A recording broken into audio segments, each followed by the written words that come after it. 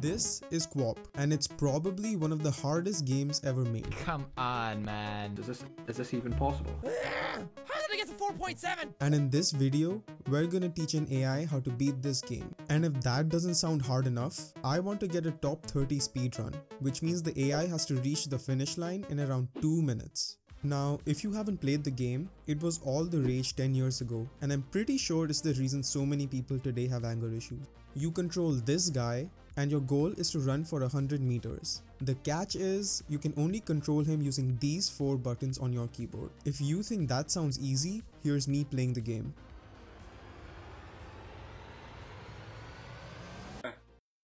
I have no idea how an AI will do this. Before we begin, we need a way for the AI to control our character. Now, in previous videos, I made the game from scratch, but since I want to compare my score to speedruns, I'll just make a quick script to automate the keystrokes in the browser. Also, I'm too lazy to make the game myself, but don't tell anyone. This does mean I can't pad out half the watch time by coding the game from scratch, but these are some sacrifices that we have to make. Now, for every AI we make, the AI will be taking in info such as the positions, rotations, and speeds of its different limbs, and the output of the AI will be which buttons to press at a given time. Let's get started with our first AI. The method we will use is called evolutionary algorithms. It's what I used in this video where I taught an AI how to beat Super Meat Boy. We basically create a population of 20 runners and throw them into the racetrack. When they either finish the race or fall down, we take the best 10 and make them have kids, and kill the ones that suck. I like to call this the North Korea method of training AI. I chose this method because it was great at training an AI to beat 8 levels of Super Meat Boy. So with high hopes, I set the AI for training overnight and when I came back 10 hours later, this is what I saw.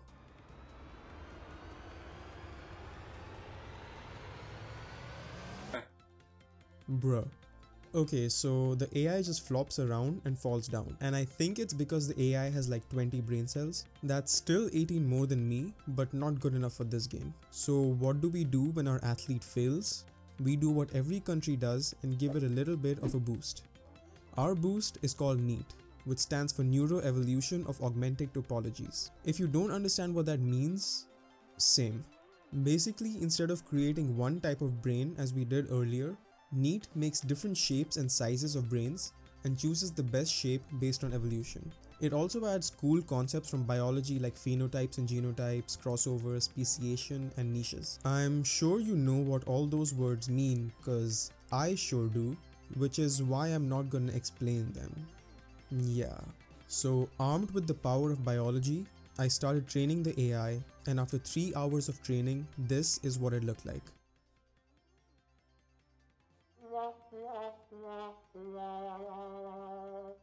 Without any other ideas, I let it train overnight, and what I saw in the morning shocked me.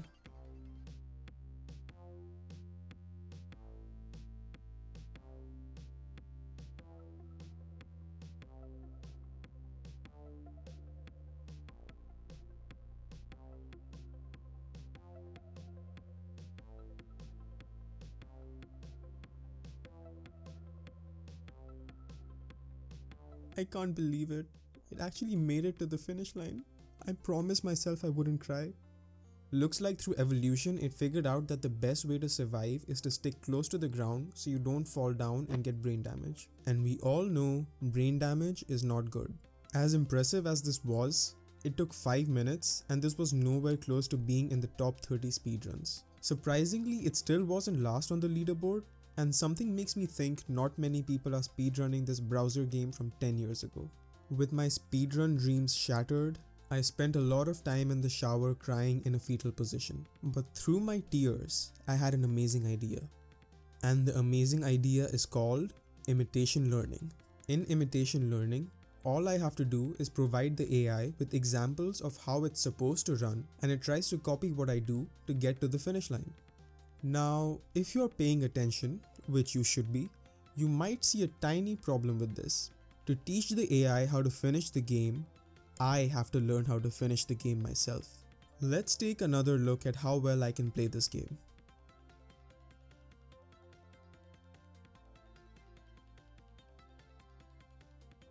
I hate my life. One eternity later. Hey everyone, sorry that took some time. I just got back from the hospital. I had to get my hand checked out cause I punched a wall. Anyways, the good news is that I learned how to beat the game. The trick is to alternate between WO and QP. If you just keep repeating those two at the correct time, you can reach the end. Coincidentally, this is how I run to the bathroom after eating at Taco Bell. Now, I just spent a lot of time pressing these 4 buttons, but the only button that you need to press is the like button.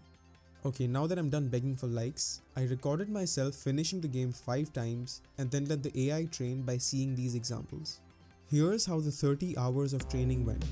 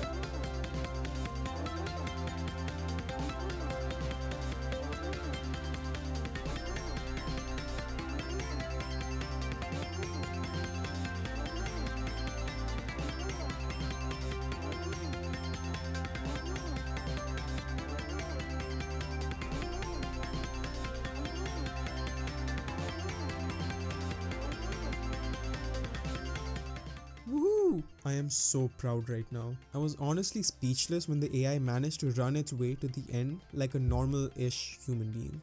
After 3 weeks of coding and training, our AI had finally done it.